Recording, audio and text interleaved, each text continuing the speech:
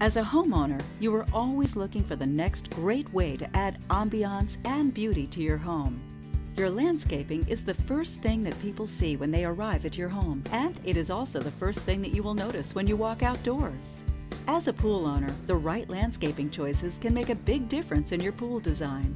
To help you along, we're offering some pool landscaping tips to help you get your backyard looking beautiful just in time for pool season. Before planting, think about watering.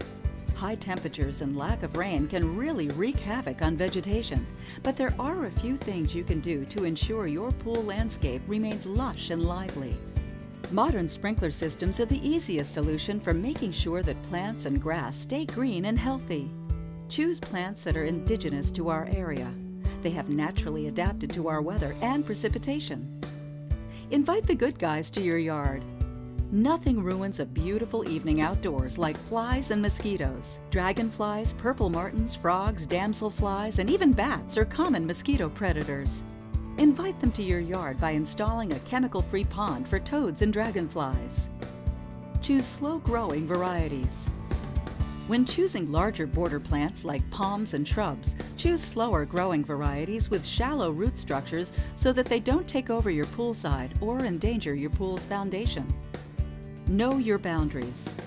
Natural stone is a great way to add boundaries and beauty to your yard. A great idea for your swimming pool area would be a natural stone water feature.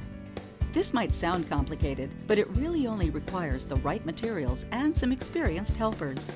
If DIY doesn't appeal to you, we can install a custom stone feature for you. To learn more, visit us on the web or give one of our water safety experts a call today.